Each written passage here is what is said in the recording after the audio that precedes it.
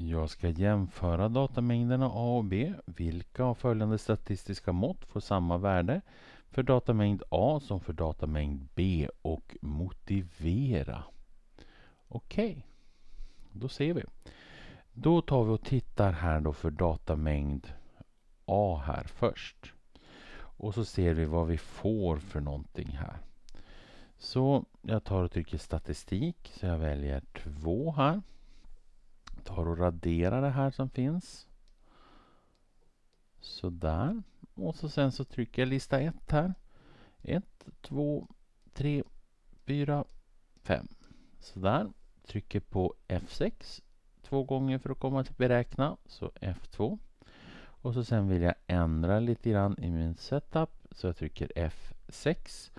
Och så sen så ser jag att okej, okay, min en variabel lista, det är lista 1 och det stämmer.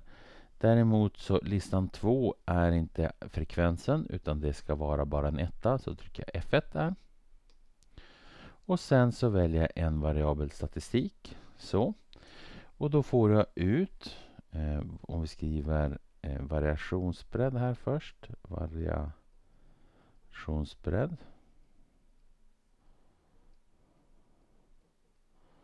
Den är ju 5 minus 1. Den räknar jag manuellt. Så den är 4. Och så sen har jag medelvärde. Medelvärdet är 3. Och median. Det är det mittersta värdet och det kan jag bara avläsa här. Det är ju 3. Kvartilavstånd.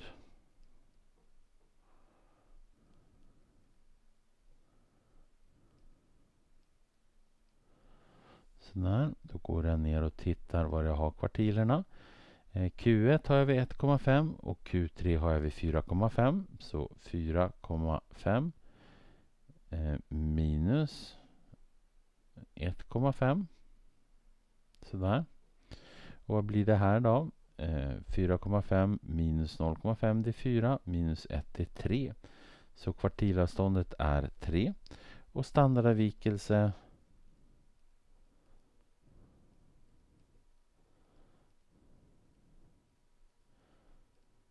Den gick vi upp och mätte. Det är för ett stickprov.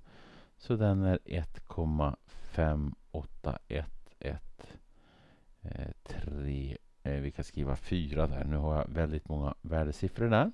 Och så gör vi samma sak men för datamängden B. Så trycker jag exit här tills jag kommer till listan. Ställer mig längst upp. Jag kan radera den eller så skriver jag bara över den. 6, 7, 8, 9, 10 och så är jag klar. För, nackdelen med att skriva överdö är att man kan råka eh, få med några mätvärden som inte egentligen finns utan som bara råkar vara kvar. Men det går lite snabbare om man vet att man har fått med allt och det är rätt. Sen trycker jag på kalk här då, F2. Och så sen så set, den var ju redan rätt, det visste jag ju sedan tidigare. Och så sen så väljer jag en variabel stat här så då får vi eh, medelvärdet här. Vi skriver variationsbredd först.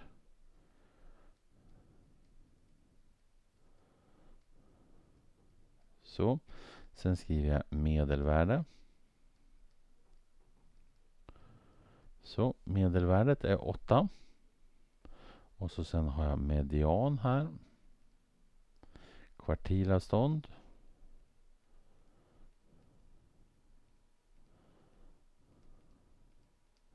Och standardavvikelse.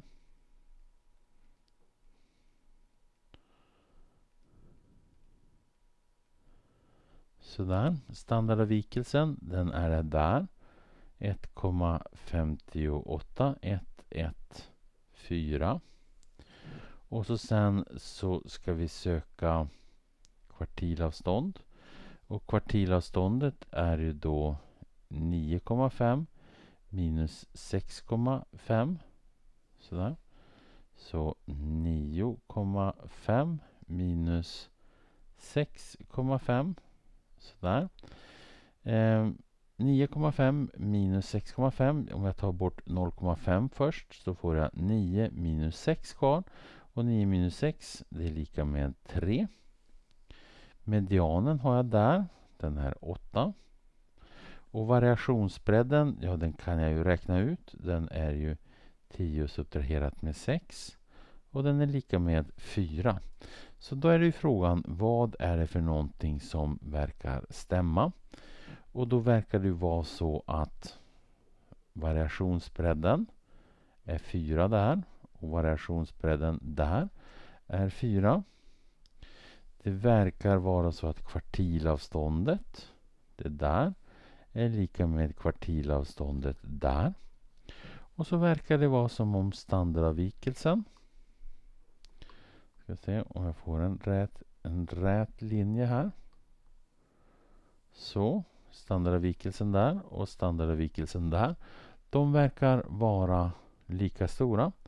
Så svar här. Variationsbredd.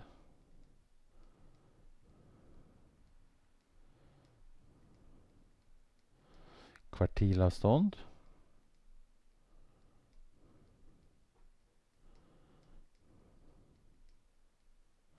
Och standardavvikelse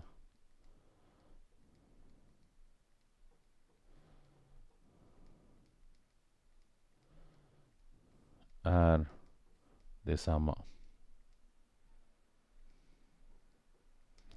Sådär, och då är ju frågan varför? Sådär, okej. Okay. Och då är det så att variationsbredden det är skillnaden mellan det största och minsta talet. Och eftersom jag har fem på varandra följande heltal Ja, då är ju avståndet mellan det första och det sista talet lika stort oavsett var jag börjar. Jag kan börja på 100, 100, 101, 102, 103, 104 och titta, då är avståndet också 4. Så har jag på varandra följande heltal så är avståndet mellan eh, start och slut alltid lika stort om jag har lika många tal. Och så sen så är det så att när jag räknar ut medelvärdet så kommer medelvärden att vara olika för A och B. Men däremot när jag tittar på standardavvikelsen så tittar jag på hur långt avståndet är från en mätpunkt till medelvärdet och så tar jag det i kvadrat. Och eftersom att vi har lika långt mellan varje tal i den här datamängden B som i datamängden A, ja då måste eh, den här standardavvikelsen bli lika stor här.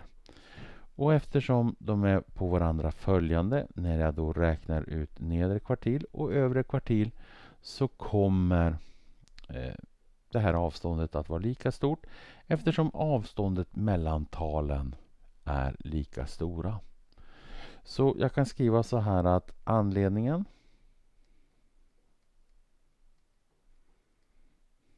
är att avstånden mellan talen talen är lika stora och eh, det är samma antal.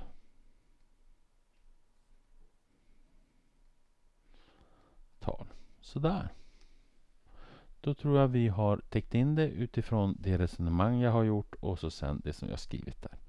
Så, då går jag vidare till nästa uppgift.